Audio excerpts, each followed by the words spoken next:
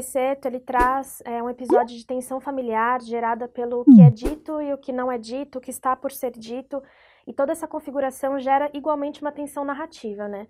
Ao final do excerto, isso fica ainda mais evidente pelo silêncio fundamental que estrutura de fato esse excerto.